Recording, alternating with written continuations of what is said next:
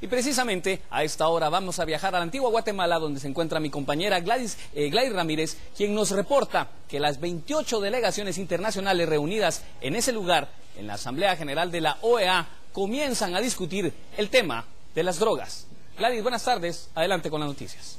Gracias William, gracias, muy buenas tardes, saludos desde la antigua Guatemala donde continuamos esta transmisión especial. Y es que esta mañana ya arrancó la primera sesión plenaria de la Organización de Estados Americanos donde pues hasta este momento se han discutido temas administrativos. Ya por la tarde, en tan solo algunos minutos comenzará la agenda prácticamente, le podríamos llamar la agenda política donde se tratará eh, o se escuchará el informe del secretario general José Miguel Insulza respecto a la situación y a los panoramas ante la posible ruta o nueva ruta de combate antidrogas. Y es que según este informe al cual hemos tenido acceso, ya que es un informe hasta el momento público en algunas de sus partes, se ha dado a conocer de que según la Organización de Estados Americanos, los países que han asumido una combativa en contra de la droga y el tráfico de esta,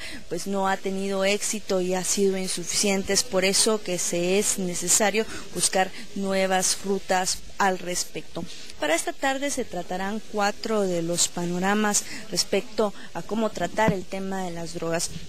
Uno sería la despenalización, que es despenalizar todo el consumo y la posesión de sustancias permitidas o de sustancias controladas.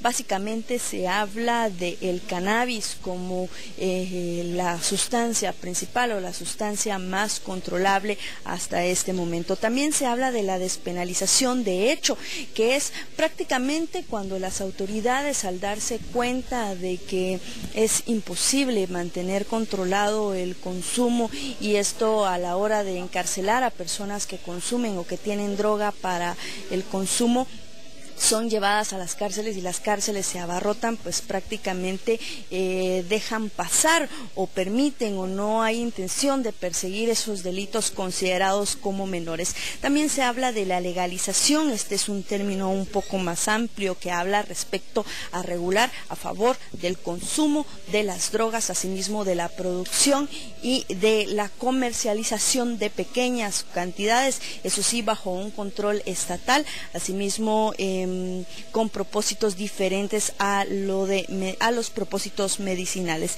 También se habla finalmente de la regulación y esto es específicamente, como les decía, a que las drogas eh, reguladas o las drogas controladas estén disponibles legalmente para el consumo como les repito, con propósitos diferentes a los medicinales, pero todo bajo control estatal.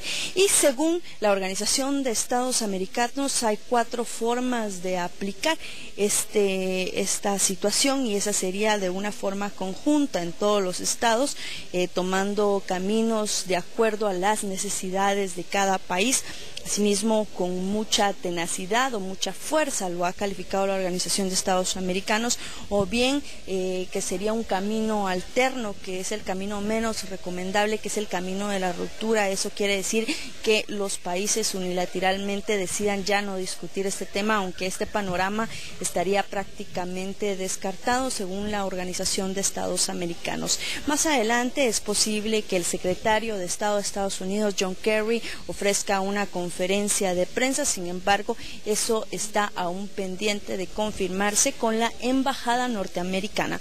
Mientras tanto, volvemos al estudio por una Guatemala en paz, Gladys Ramírez y Byron Secaida.